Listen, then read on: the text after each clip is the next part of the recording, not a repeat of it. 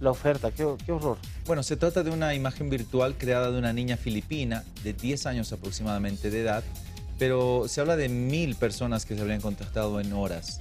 Pero ¿En todo el mundo? Sí, en todo el mundo, pero seis, solo seis han sido detenidos hasta ahora.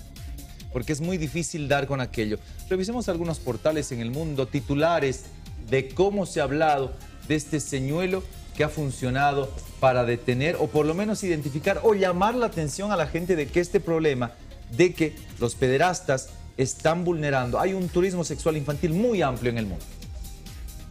Una ONG crea una niña virtual para identificar a presuntos ciberpederastas. El litoral, el litoral. Una ONG creó una niña virtual para cazar pedófilos.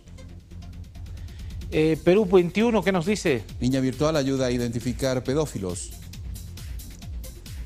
Así está viendo el mundo lo que ha logrado Sweetie. Crónica. Crónica de México, ONG creó una niña virtual para cazar pederastas en Internet. ¿Y el tiempo? Identifican a más de mil pedófilos con niña virtual. Hay hombres que se conectan, buscan a estas niñas, las violan virtualmente, apagan la computadora y se van al trabajo como si nada hubiese pasado. Tenemos más en el programa precisamente y vamos a continuar con Priscila hablando de este tema. Y justamente esta fundación Terra de Somes de eh, Holanda está en Bolivia, está presente Mónica Vaca Jiménez desde Cochabamba con nosotros. Hola Mónica, ¿cómo estás? Eh, buenos días, muchísimas gracias por estar con nosotros. Ella es eh, oficial regional de comunicación de la fundación. Buen día Mónica. Buen día, Priscila, gracias por, por el contacto y estoy aquí para, para dar la información que ustedes requieran. Bueno, definitivamente este estudio que se ha hecho, esta forma de atrapar este tipo de personas ha llamado la atención a nivel mundial y Bolivia lo propio. Nos llama la atención a, lo expuestos que están nuestros hijos en Internet. Eh, efectivamente, esta, esta investigación es, es en Filipinas. Es una investigación que abre los ojos al mundo de lo que está pasando. No tenemos información de que eso esté pasando eh, necesariamente en Bolivia, pero sí, definitivamente el tema de Internet es, es, algo importante que tenemos que tomar en cuenta. Sin embargo, esta investigación eh, quiere, nuestra organización Transversal Holanda quiere que la gente esté consciente de que la explotación infantil está en todos en todos los ámbitos y bueno en el caso de Filipinas una muestra eh, terrible sobre el tema del turismo sexual infantil a través de la cámara web. Ahora cuéntanos un poquito, Mónica, cómo va este proceso, porque sabemos que mil personas fueron identificadas de diferentes nacionalidades, pero en algún momento se dijo, si no hay cuerpo del delito porque esta niña era virtual, no hay proceso contra estas personas. ¿Esto es así? ¿Cómo se está manejando? ¿Qué dicen sobre eso?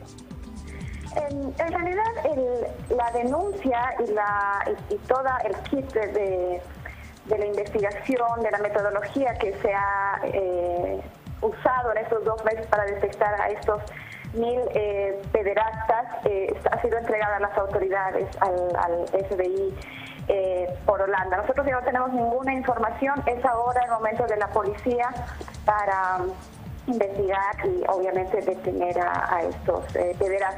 Sin embargo, hay ese cuestionamiento que tú dices que por no haber el, delito eh, puede no, no ser exitoso esta esa campaña, por ejemplo, pero en realidad sí es. Hay, hay, se ha investigado que en muchos países la ley es muy clara. esto es como, como una unión entre lo que es prostitución infantil y lo que es pornografía infantil. Entonces, estamos seguros de que no hay donde perderse. De hecho, sí, la policía a través de varios métodos puede encarcelar a estas personas, pero como ustedes mismos lo decían, solo, solo hasta ahora han sido seis. Sin embargo, se ha hecho un estudio muy, muy eh, serio sobre las leyes y sí se puede. Entonces, estamos eh, con la esperanza de que se haga. Pero al margen de eso, nosotros queremos denunciar el hecho. Al margen de que se pueda detener a estos mil federantes, nosotros queremos denunciar al mundo que hay esto y que está creciendo y que es una industria cada vez más grande por el acceso fácil al Internet Entonces tenemos que estar todos conscientes. Es una campaña que nos piden eh, la, firma, eh, queremos firmar, llegar a un millón de firmas para que eh, los gobiernos estén más atentos de esto y se apliquen las leyes, porque las leyes sí existen a nivel mundial. Mónica, ¿qué cifras tenemos como fundación del tema de Bolivia? con la pornografía infantil, con el tema del Internet, la seguridad de los niños. Cuéntanos un poco, por favor, del trabajo que hace la Fundación respecto a los niños en nuestro país. En Bolivia nosotros trabajamos básicamente en tres temas. Nosotros eh, trabajamos en lo que es violencia sexual comercial, violencia sexual y trabajo infantil. Eh, coincidentemente estamos terminando una campaña eh, que ha sido lanzada a nivel mediático que se llama Casos Vemos, Conciencias No Sabemos sobre trabajo infantil doméstico en Bolivia. No estamos en el ámbito de, lo que es, eh, por ejemplo, el turismo eh, sexual infantil, como se hecho en Filipinas, porque no es algo que en Bolivia está presente de una manera tan, tan grave y fuerte como en Filipinas. Sin embargo, nosotros sí estamos trabajando en el tema del trabajo infantil peligroso, estamos, queremos que la gente se concientice sobre eso, por eso nuestra campaña ha sido de sensibilización. Tenemos ONGs locales que apoyamos en temas de violencia sexual comercial y violencia sexual, donde en nuestro país es muchísimo más evidente. ¿Algunas cifras conoce la Fundación que nos puedan compartir?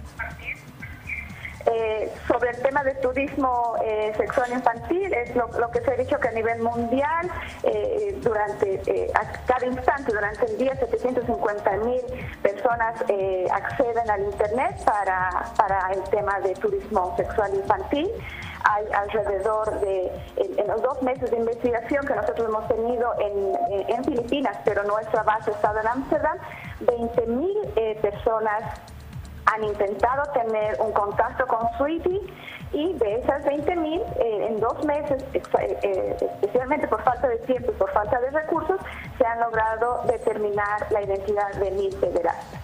En el tema de explotación infantil en Bolivia, ¿la situación es crítica? Efectivamente es eh, en los temas en los que te decía, el tema de violencia sexual, abuso sexual, eh, las cifras son muy altas, lo vemos cada día en la televisión, eh, se da en, los hogares, en la misma familia. Es, un, es un tema que está latente, el tema de la violencia sexual contra la niñez.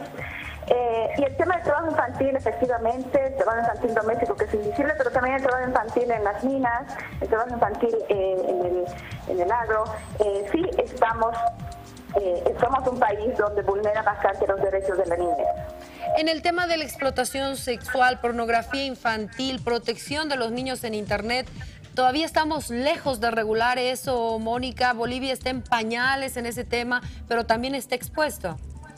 Efectivamente, ¿no? El, el tema del acceso al Internet es eh, evidente en todo el mundo, cada vez es más barato, pero además los niños tienen acceso a Internet, nuestros hijos tienen un acceso a Internet muchas veces libre y no tenemos la conciencia de, o, sensibilizarlos o informarlos hasta dónde o dónde no, no pueden entrar, por ejemplo. Eh, yo creo que todos los países, especialmente los países en vías de desarrollo, sí somos vulnerables a que estos temas, estos fenómenos como el turismo sexual infantil definitivamente lleguen a en algún, momento.